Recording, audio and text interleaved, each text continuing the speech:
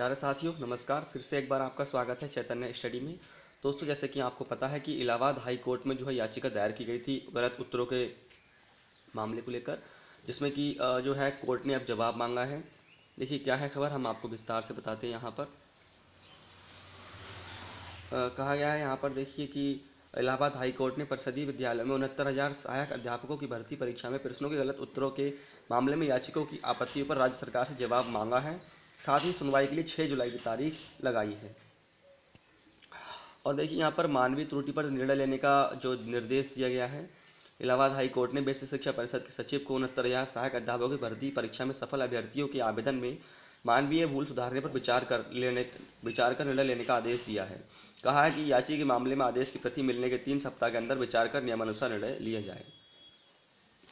अब देखिए, यहाँ पर फार्म में संशोधन करने की छूट की मांग पर जो है प्रदर्शन जगह जगह हो रहे हैं और ज्ञापन जो है दिए जा रहे हैं।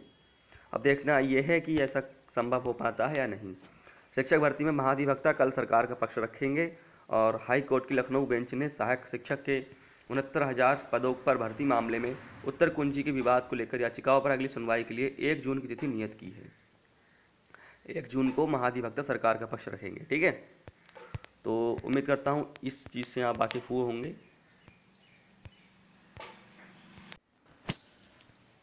अब यहाँ बताया गया है कि जो आपकी मेरिट लिस्ट है, वो मेरिट लिस्ट जो है आपकी आज शाम को अथवा रात में या फिर जो है आपकी सोमवार यानी कल को आ जाएगी, ठीक है?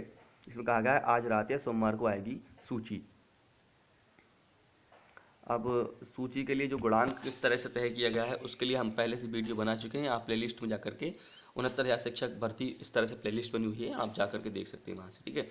परिषदीय प्राथमिक विद्यालयों में उनहत्तर हज़ार सहायक अध्यापक भर्ती की चयन सूची रविवार रात या सोमवार सुबह जारी होगी। बेसिक शिक्षा परिषद की ओर से सत्रह मई को जारी टाइम टेबल के अनुसार इकतीस मई को जिलेवार आवंटन सूची जारी होनी थी। लेकिन बाद में क्या हुआ? मोबाइल नंबर संशोधन के लिए ऑनलाइन आवेदन की अंतिम तिथि दो दिन बढ़ाने से थोड़ी देर हो सकती है।